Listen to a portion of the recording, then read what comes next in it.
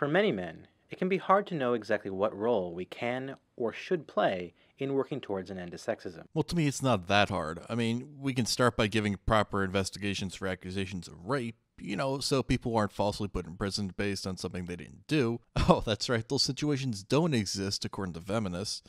If only I had something I could show that would prove it does happen. Scott Espinosa was facing 35 years in prison. He was convicted of six felonies, including rape by force and pimping. Police said the victim was 14 years old, but she wasn't.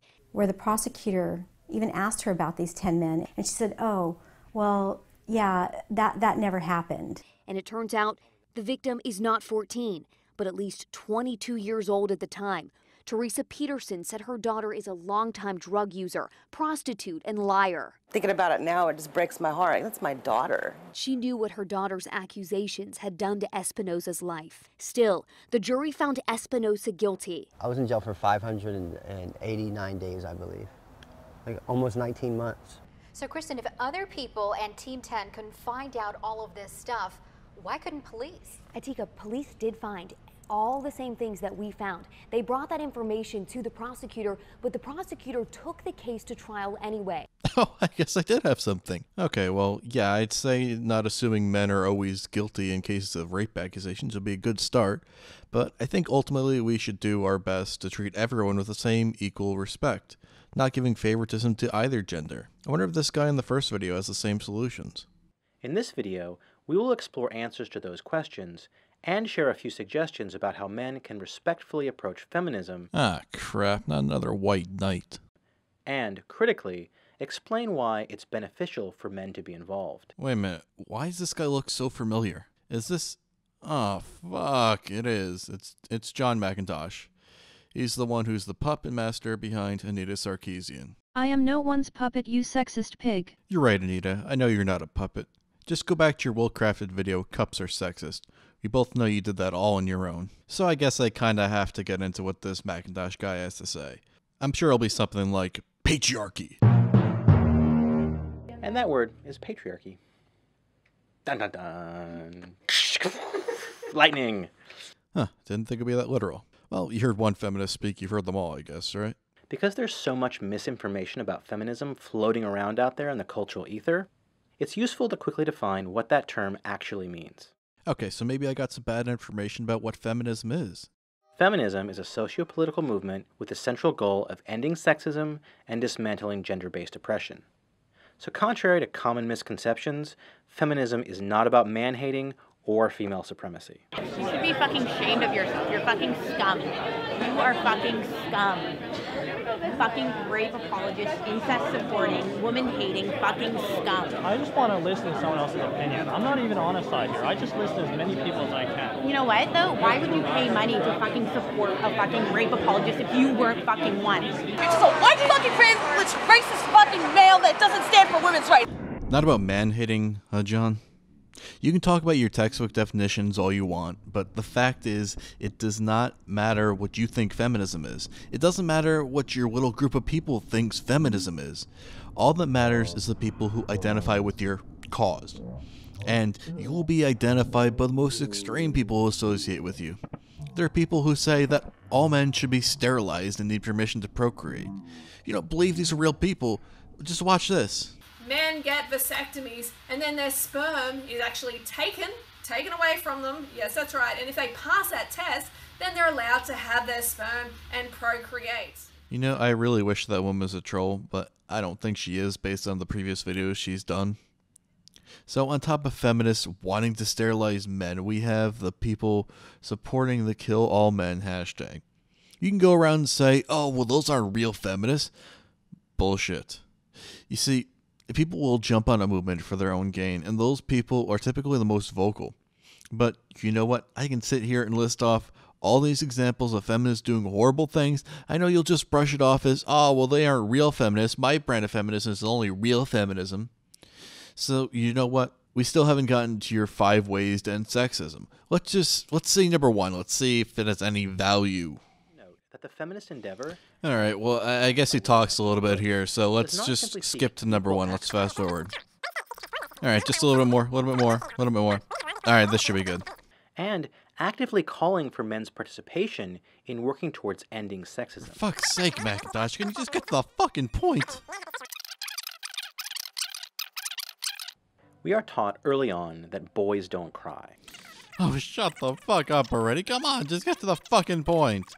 I just have to fast forward even faster this time. Finally, number one. All right. Okay, so if we're on board with ending sexism, what specifically can we do as men to be helpful?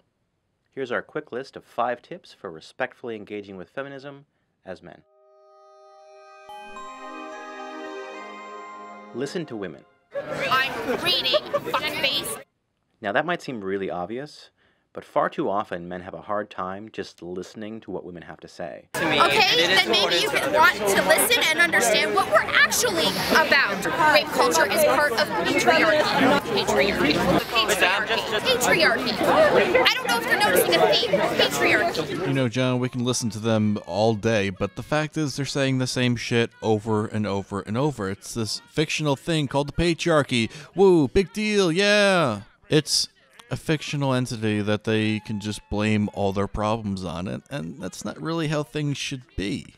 And respecting women's knowledge and experiences.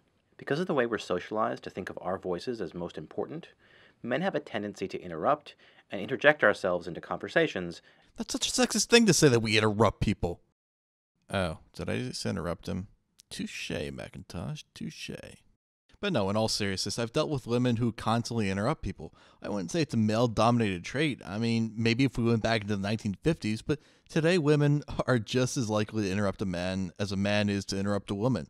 So that statement about men feeling their opinion is more important is ridiculous. Everyone thinks their opinion is the most important. Ever hear opinions are like assholes? Everyone has one, and usually they stink. And then to dominate those interactions. This behavior is so ingrained that men often don't even realize we're doing it. You know, I used to think this McIntosh guy was the puppet master, but I think he's actually the puppet. I'm no puppet. I'm a real boy, and I have opinions of my own. I'm not just a puppet for Anita Sarkeesian.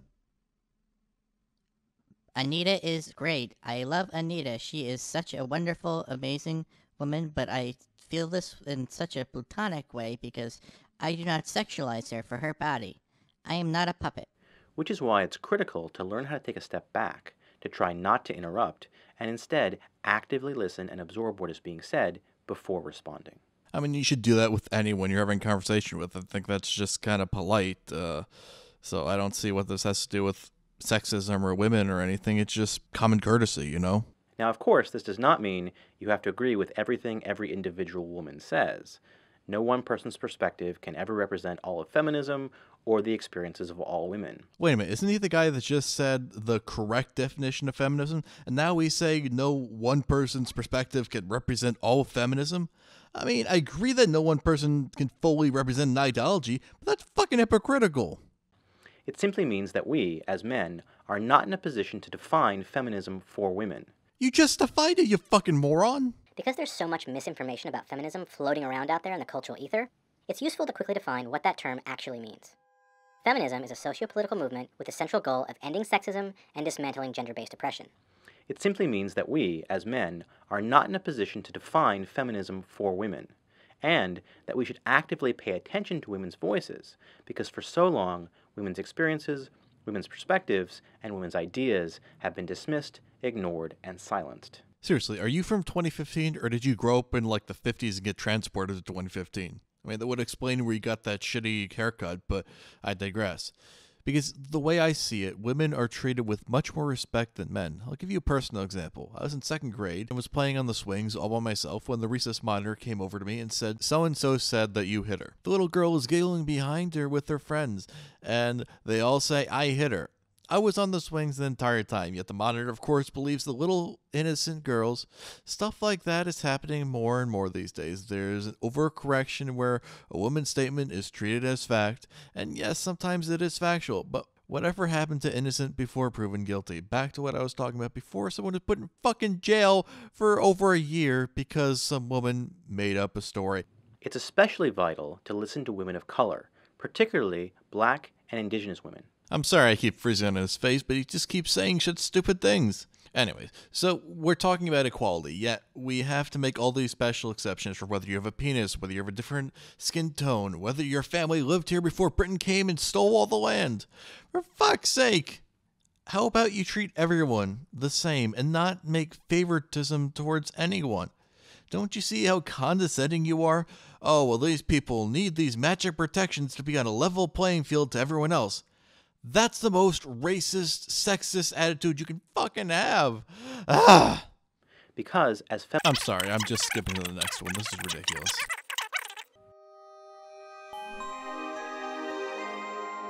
It's important for us as men to acknowledge that when we talk about feminism, we follow the lead of women. Feminism. It's for men too, just as long as you listen to what women tell you to do.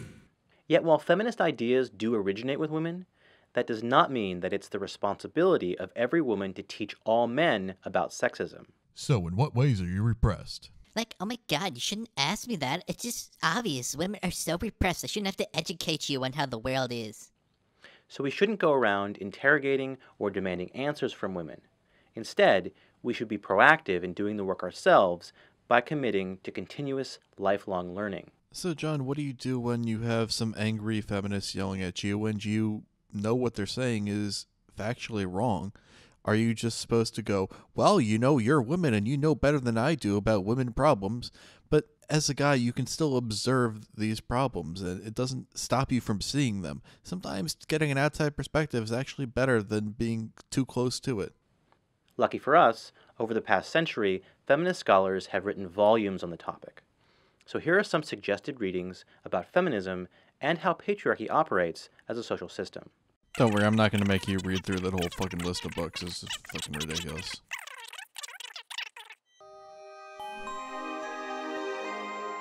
The place where men can be most helpful in regards to feminism is first within ourselves and then amongst other men. Say, guys, did you know that feminism is out there to stop sexism against men, too? Really? How? Uh, don't ask questions. Patriarchy encourages men to buy into sexist thinking and at the very least remain complacent in sexism through our silence. You know, guys, I would treat women with respect, but at that super secret patriarchy meeting, they said we have to hold women down because they're just so much better than us. Anyways, I'm off to my Illuminati meeting. Have fun, guys. So instead, step off the path of least resistance and dare to make yourself and other men uncomfortable about sexism. Make men uncomfortable about sexism, huh? Okay, so I'll go up to some guys and I'll be like, you know, men are responsible for all the world's problems. I only wish I wasn't cursed with this horrible appendage. Yeah, I'm sure that would work and make some men uncomfortable. Or I can go the other way, you know. Say, guys, do you know what makes a woman good? Nothing, because they're pieces of shit who just need to make me a fucking sandwich. You know, contrary to what a lot of feminists may think, that would actually certainly offend a lot of guys. Wow, Mr. McIntosh finally told me to do something that actually sounds fun. Awesome. Let the other men around you know that their sexist behavior is not okay. Motherfucker. Okay, I guess he wanted us to make him uncomfortable by just being bitchy at them. Whoops. For example, when you stand up and say that a sexist joke is not funny. Now, guys, that joke is not funny. You know what's going to happen if you do that? Uh, you're going to either get punched in the face or they're just going to make fun of you back, and you're going to be teased and tormented for the rest of the time you know them. So, eh, I, I, I really don't think you should do that. If you're John McIntosh, I think you should because uh, I think that'd be funny to see him get punched in the face, don't you? the men telling that joke can no longer be assured that they will go unchallenged the next time they tell it. In other words, those men can no longer count on other men to accept or go along with their sexism. Now, Mr. McIntosh, I'm going to give you a little psychology 101. You see, when one person in a group goes against a large group of people, they are labeled as an outsider.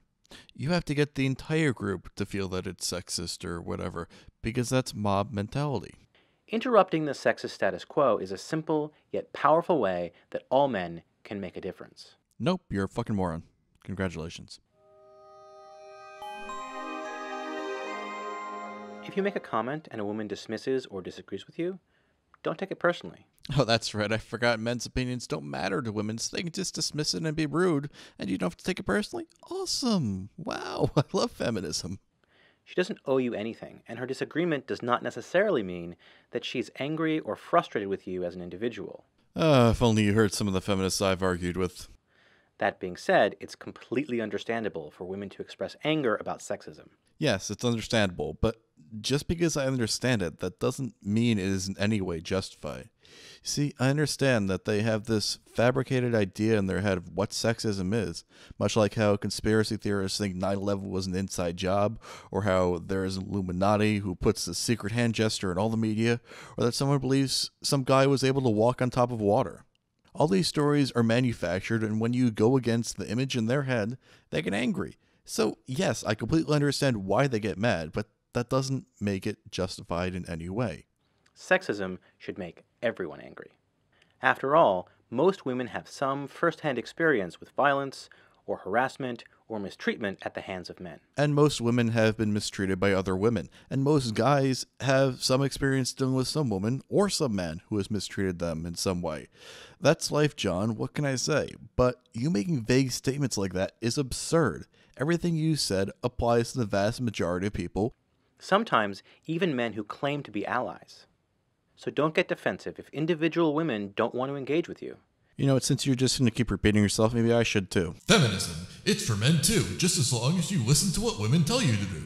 And remember that it's definitely not our job to police the ways that women may choose to speak about sexism or their experiences. You're fucking scum. You are fucking scum. Fucking rape apologist, incest supporting, woman hating, fucking scum. That's right. Just listen and believe. Men's support for feminism should not be seen as some kind of favor to women. As we've discussed, dismantling the system of sexist beliefs benefits people of all genders. You know, that's a nice idea and everything, but I just don't see the measures that they want to take and how that's actually going to happen because it seems very one sided and just towards women, and they ignore any issues that are against men. And moreover, men shouldn't expect a reward for deciding not to participate in a terrible system of oppression. You know, I think not participating in feminism is its own reward.